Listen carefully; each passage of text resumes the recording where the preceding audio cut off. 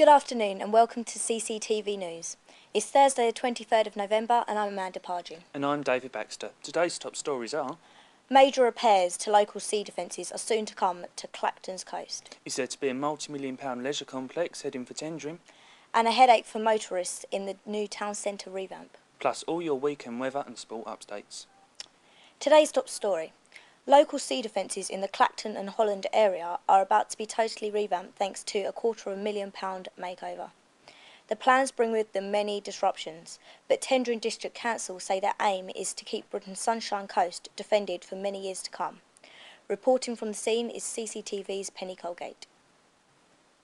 £250,000 is the price set to patch up Holland on Sea coastal defences.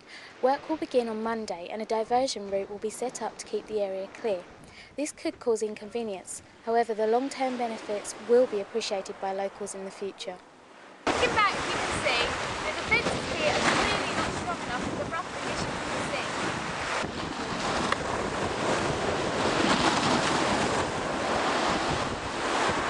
Um, Holland, I work for J. Mahoney Contractors, and what we intend to do is a job that's going to take 20 to 30 weeks, and we're going to, with the step alignment, we're going to sort of, instead of having all the small steps, we're going to have three, four sets of large steps come out, uh, then we're going to improve the top of the promenade, just sort of lay it all out, lay new, um, lay new surfacing, uh, just for a 200 metre stretch, just along the promenade behind. As you can see, this is just one of the safety precautions that have already been taken in order to prevent erosion. But is it enough?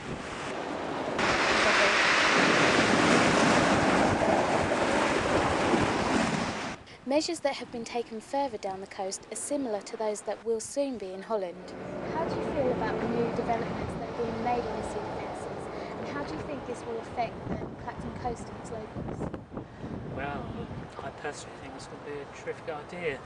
Um, considering I'm a here for some 10 years, for so long Clacton's been in a time, particularly the town centre. Well, this is the situation down here with progress beginning to start and a clear demonstration of how the local residents feel. Now it's back to the studio with Dave. Plans have been proposed for a new multi million pound leisure complex in Tendring, which includes an Olympic sized swimming pool. The scheme is set to centralise facilities for the Clacton, Frinton and Walton area in time for the London 2012 Olympics. Local councillors hope that by building the new complex, youngsters will be more inclined to use the facilities, encouraging them to be more active. It will also save people from travelling to use Colchester's and Ipswich's existing facilities which get overcrowded. Developers are hoping to meet on Monday to finalise proposals. Still to come. All the weather and sport for our region, plus news of Clacton Children in Need fundraising events. But first, the revamp of Clacton's town centre has caused major difficulties for motorists and bus drivers in recent weeks. Reporting exclusively for CCTV is Rachel Minton. The town of Clacton has been undergoing roadworks which has affected many drivers in Clacton. This is an attempt to help pedestrians and drivers be safer in their own hometown. As you can see, this is one of the main roads in Clacton town centre and has heavy roadworks and has caused many problems. Well, it's affecting us taxi drivers because we've got to go round and round the blocks. It's causing chaos and there's going to be nothing but egg aggro. There's going to be more accidents. Um, Well, I hope they're going to benefit the town centre. At the present moment, they don't seem to be. They've been taking their time doing everything. Um, several of the roads in around the town are um, blocked off, and I think people are, are not coming in because of this.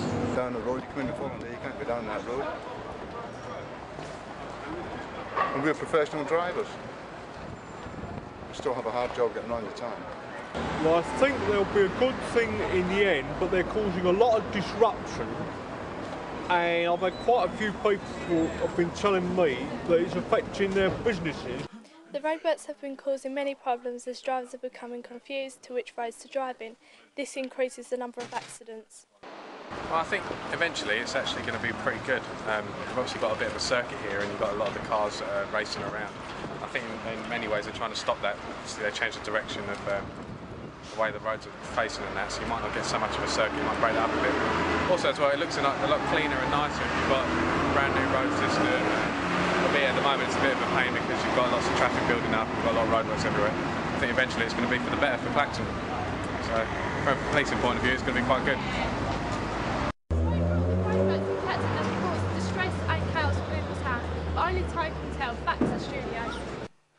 Here with me now is Jade Timothy, a Year 10 student from Clacton County High School who participated in a sponsored cycle from Clacton Pier to Walton and back to Clacton again.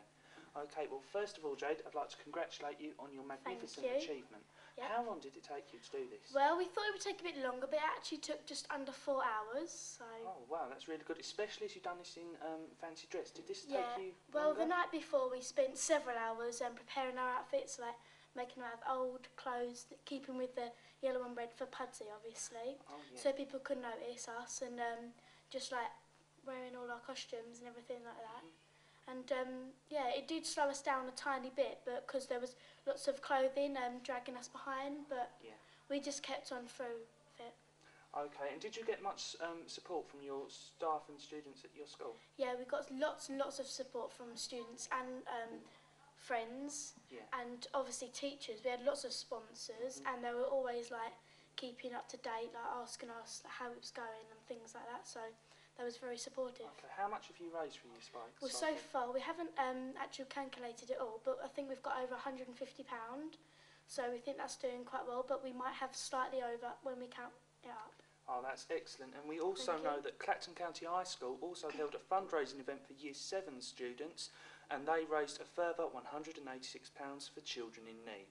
Okay, now we've got Amanda with the weekend's weather. Thanks, David. After a breezy start with some sunny intervals this morning, there is more sunshine ahead for this afternoon. However, despite a clear day, temperatures will drop from 13 to 9 degrees Celsius this evening.